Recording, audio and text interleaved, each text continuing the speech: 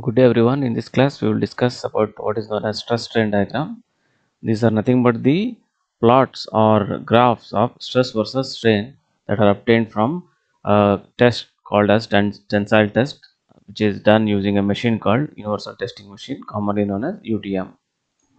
So we will discuss about a typical structural steel material and we'll do a test for it and find out what are the stress strain behavior and then we will uh, explain about what are the different types of stress strain curves that you obtained for other materials such as aluminium.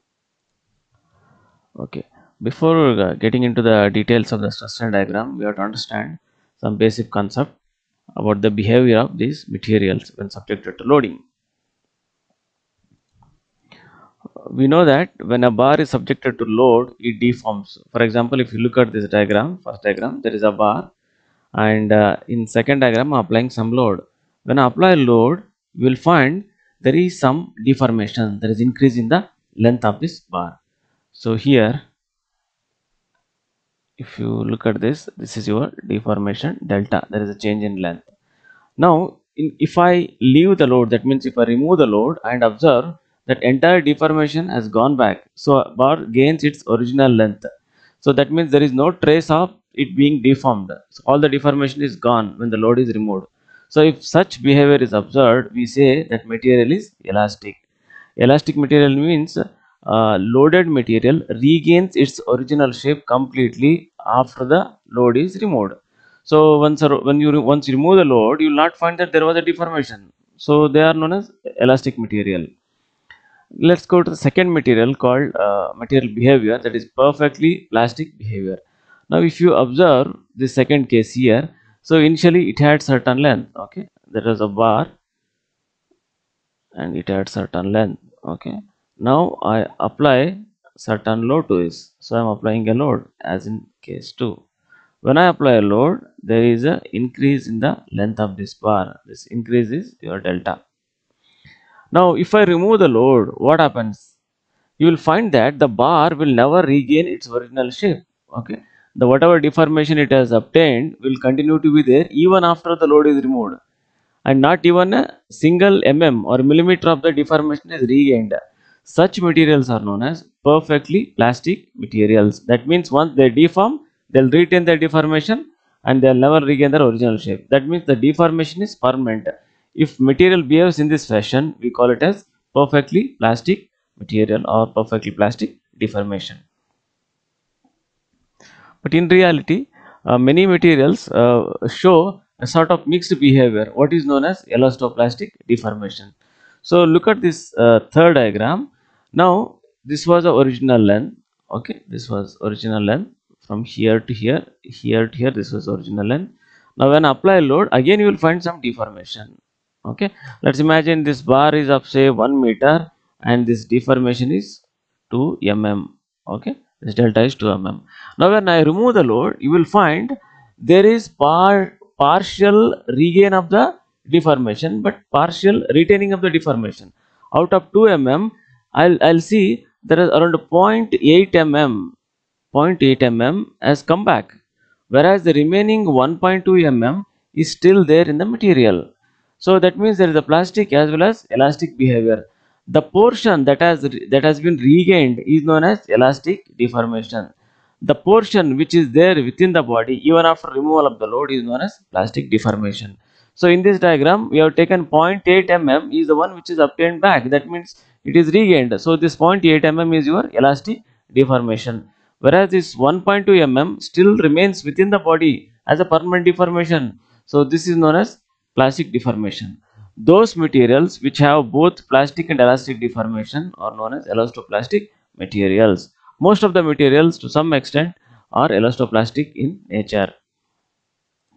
To summarize we will say if the deformation is completely regained so that there is no trace of any deformation such material is known as elastic material or the deformation is called elastic deformation if the entire deformation is retained within the body even after removal of the force then that deformation is known as perfectly plastic deformation instead a part of the deformation is regained and remaining part is there as a permanent deformation then we call it as elastoplastic deformation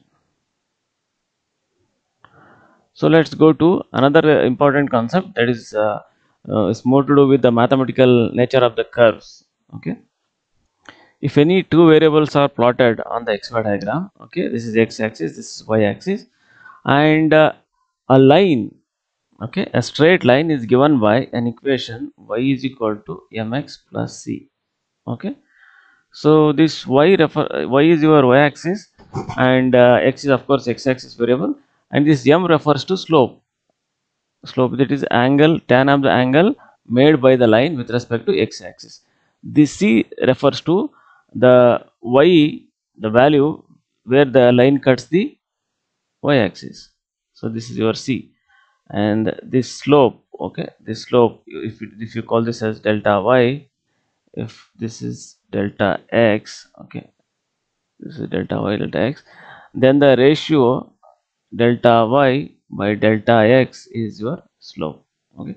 Now based on the nature of this curve we will call it as linear proportional and nonlinear. What is linear? As the name indicates the word linear contains a word line okay? So this is this line. So if the variation between two variables that is x and y are varying in such a fashion that it can be represented by a line then we call it as linear variation. Linear variations are again two types. One is if the line that you are showing here that line is passing through the origin like this then we call it as proportional also. So this line is actually linear as well as proportional whereas this blue colored line is just linear. It is represented by a straight line but it is not proportional. Why it is not proportional? Because it is not going through the origin. So what is the speciality of being proportional? Proportional means the ratio that is delta y by delta x will remain same throughout. Whatever delta y we have delta x we have the ratio will continue to remain same. So linear means it is represented by a line. Proportional means it's a special case of linear line wherein uh, the line passes through the origin. So any other variation which is not a line then you call it as nonlinear. The, so that means there are infinite number of nonlinear variations. Linear variation is only two. One is a straight line. Either it's passing through the origin or it is not passing through the origin. Only two types of a linear variation. Whereas non-linear variation can be many. So in this diagram i have shown one non-linear. So for example another curve goes like this another non-linearity. Suppose a curve goes like this this will be another non-linearity. So there are infinite number of non-linear things. So any non-linear variation is something which cannot be represented by a straight line. That is y is equal to mx plus c. So that is non-linear variation. With these basics uh, we will uh, uh, understand why testing is done. Testing is done to find out the behavior of the material, how the material behaves under the different loading conditions. Now every person can do uh, testing in his own way. Somebody may take a specimen uh, say 5 mm, somebody may take the 10 mm or somebody may even take a 1 meter specimen. To avoid the variations, uh, uh, scientists follow a standard. That means scientists from Japan to the America to India, everywhere they will follow one standard uh, that is known as uh, standards for testing. So usually the most famous standard is uh, American uh, standard called as ASTM American Society for Testing and Materials. And uh, this is a, this is nothing but an association of experienced engineers who will release certain uh, standard procedures to test a material. So the material that we are going to test is steel in this case and it is a tensile test. And uh, the name of that code which specifies how a test is to be done is ASTM E8 with the name standard test method for tension testing of metallic materials. So it's nothing like we have to only follow this. There are other British standards, uh, Indian standards also, but ASTM E8 is the most popular standard followed by most of the countries in the world. This avoids uh, uh, non-uniformity in reporting your test results okay you because what happens is when the material the specimen that you take for the testing is different in diameter and different in this texture or in this content the results will vary. To have a uniformity we will follow what is known as a standard testing method. And the machine used to do this testing is called UTM that is universal testing machine. Universal means uh, it's it's not it can do many other tests apart from tensile test. Therefore we'll call it as universal.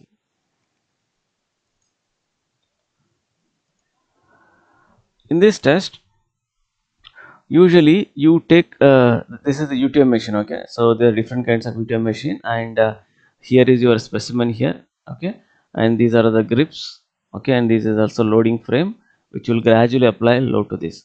So what we do is here we take a specimen okay? Here it is we have a cylindrical specimen okay? And to this we will first measure what is its initial length.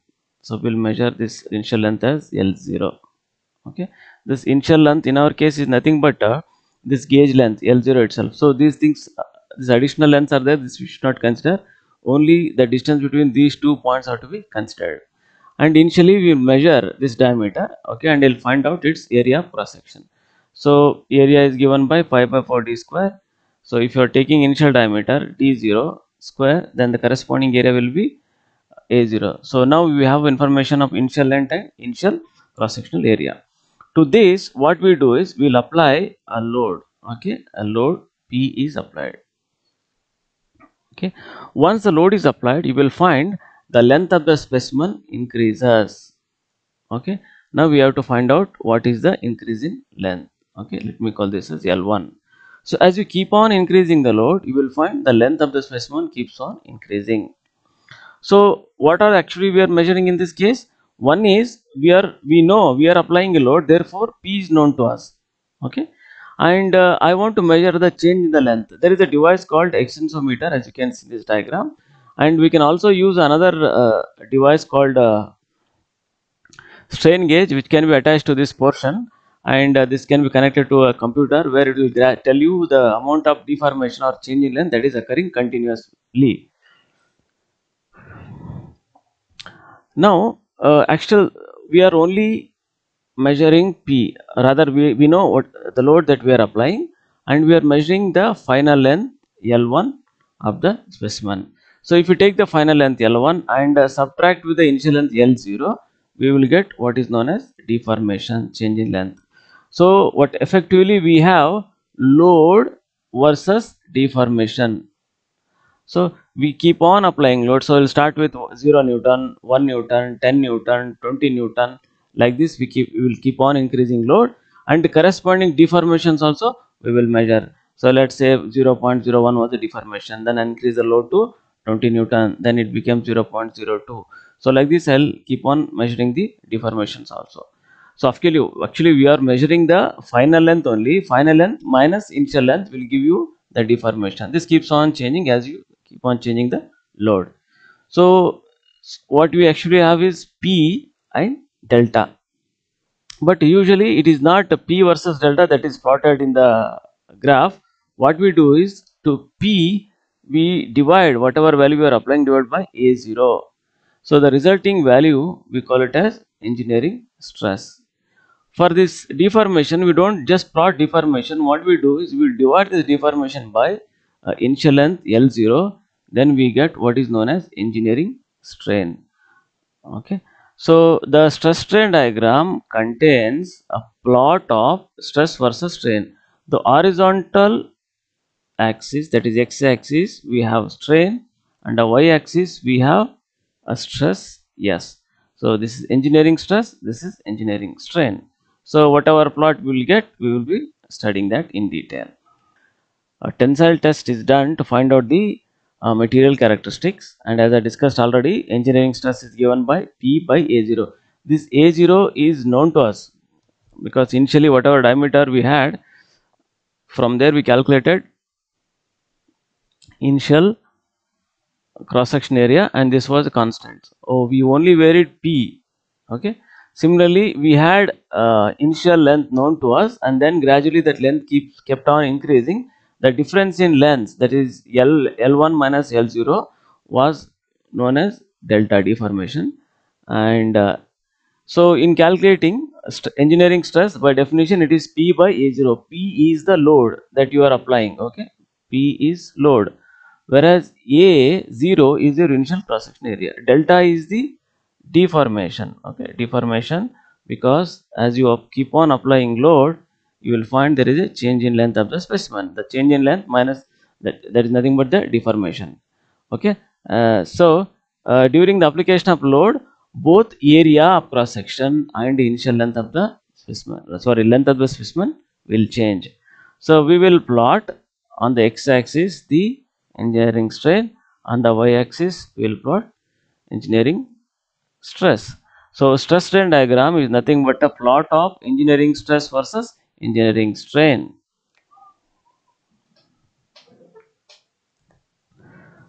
now we will take an example of a material called strucarbon and it is commonly used in uh, many structural applications and hence the name structural steel. The diagram shows a typical stress strain diagram. So as discussed already this S stress is S okay this S that's nothing but engineering stress given by P by A0. Please remember this A0 is initial length whatever initial sorry initial area cross section. The strain E is given by delta by L. So this L0 and this A0 are not varying. Only thing that are varying that are varying are P as well as delta. Okay, now so this entire curve can be studied in different stages. Let's look at the stage one. Here the curve starts with origin because when you don't apply any load there is no deformation. Therefore the stress is zero, strain is zero. It starts at point O and then it goes up to A and B. Now concentrate at that point B. Okay. The point B is called elastic limit. What do you mean by elastic limit? As we discussed already the, about the elastic behavior. When you apply a stress whose value is less than this particular E, you will find when you remove the load, the entire deformation becomes zero. The body regains its shape completely. So therefore, elastic limit is it's a stress, okay, up to which the material regains its original shape when the load is removed. So the, elast the stress at B is called elastic limit because if the applied stress is less than that at B, material will completely regain shape after unloading. Okay, that is elastic behavior. Then we will see uh, within the elastic region that is between O to B, we will find two types of variation. Okay, O to A will be a straight line whereas A to B will be a curved line, slightly curved. Of course, I have exaggerated in this figure.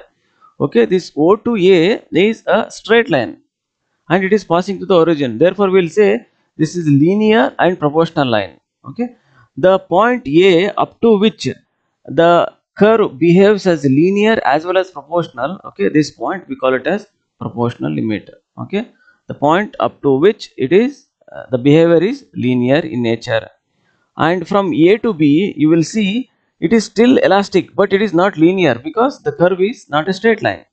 So for, uh, whether you load up to this point and then remove the load, whether you load up to this point and remove the load, you will find that material completely will regain its shape. So therefore this B is your elastic limit whereas this A is your proportional limit. So both A and B are elastic only. Only thing is from O to A the stress strain curve is represented by a line whereas from A to B it is represented by a non-linear line that is curved line. So proportional limit definition it is a point A up to which linear behavior is seen. Okay that is your proportional limit. Okay this uh, difference between elastic limit and proportional limit is only academic in nature. It is very difficult to find out the uh, separate A and B. So most of the time elastic limit will be replaced by the uh, proportional limit itself. So the point up to which the stress strain curve variation is linear. So elastic limit is rarely used. Okay, but elastic limit and proportional limit are practically same. Only the academic interest that we differentiate. Otherwise, an engineer working in a industry will really not make in much difference between these two values. Okay, that is about proportional limit.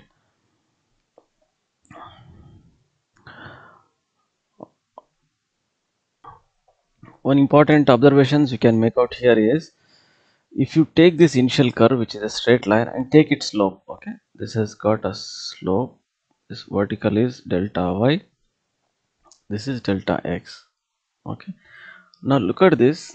This delta y is nothing but vertical value this is nothing but engineering stress yes okay? This delta x that is horizontal value is nothing but strain. So this is engineering strain e okay? The stress by definition it is p by a0 the strain engineering strain is delta by l0 So if you rewrite, you will get PL0 by A0 delta, which is nothing but Young's modulus. So uh, Young's modulus is a property of the material which is given by the slope of the initial curve that is OA is your Young's modulus.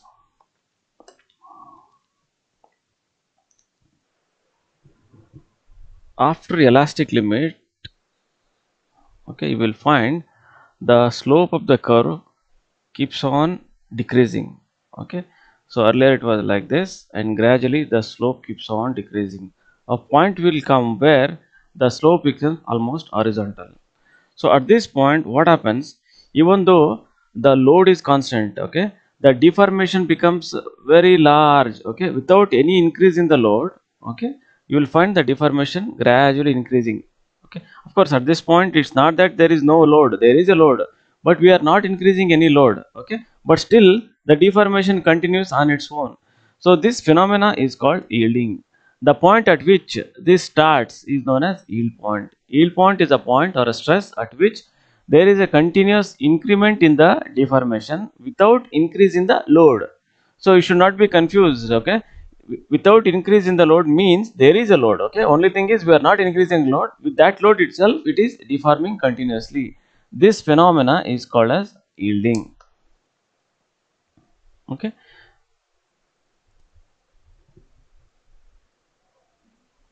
The stress at this point where this occurs is known as yield point stress. So there the point C, okay, the point C is called as yield stress or yield point stress.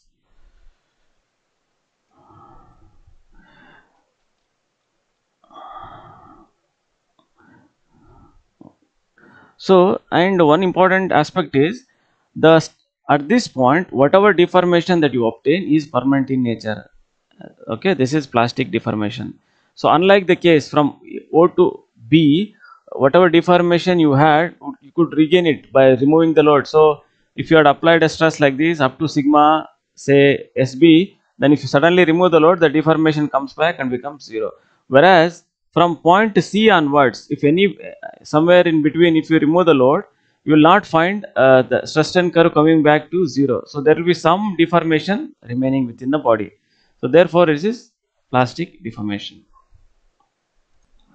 Therefore the deformation from C to D that horizontal line is plastic in nature that is permanent deformation. Therefore some of them uh, define the yield point as the point at which the permanent deformation starts to occur. Okay that is about yield point stress. Then you will find a strange thing as I said at point C you are not increasing any load but however strain is gradually increasing. It is deforming on its own. But this will not continue forever. At point d this will stop. Okay? From here onwards if you want its length to be increased you need to increase the load and stress also. You need to increase the stress. Only then material starts increasing in its length.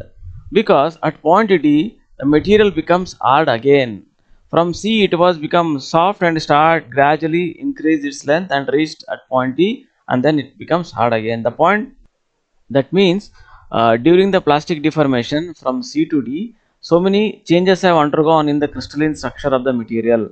So by the point by the time it reaches D because of these changes the material again becomes hard. So from now onwards if you want to increase the length of length of the material you need to apply more and more forces. So that means material has become hard. So this region from D to E is called strain hardening region. The strain hardening occurs because there is a change in the internal structure of the material because of the plastic deformation that occurred between C to D. Another point one should understand here is right from the beginning okay as I applied the load the length increased but this increase in length is accompanied by decrease in diameter because volume is preserved.